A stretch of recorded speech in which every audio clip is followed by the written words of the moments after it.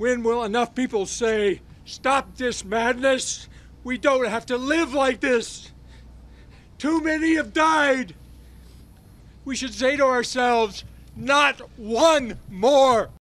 Responding to a grieving father's plea, activists made a special delivery to Congressman Rodney Frelinghuysen. 3,300 postcards demanded gun reforms in memory of a California student shot dead in May 2014. The mass killer, a loner with a history of mental problems, had no problem legally amassing an arsenal of weapons. We know that guns are very easy to obtain by people with, with bad intentions, and it's too easy for them to get into the wrong hands.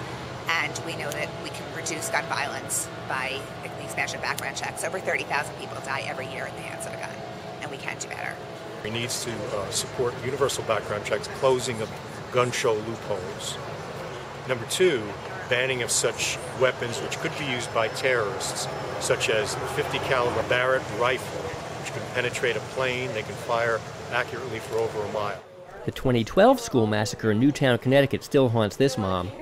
I just haven't really felt safe since because my kids are going to be going to elementary school in a few years.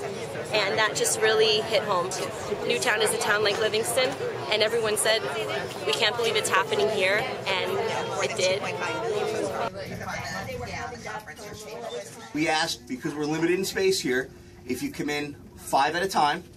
Later, the congressman met privately with the organizers. He issued this statement. I was pleased to meet with the local leaders of Moms Demand Action and Everytown for Gun Safety and to take delivery of the postcards they had collected. We had a good conversation, and I appreciate their taking the time to share their views with me. Grace Kennedy had her own message for the congressman just use common sense. Don't let money talk when it comes to the safety of our children.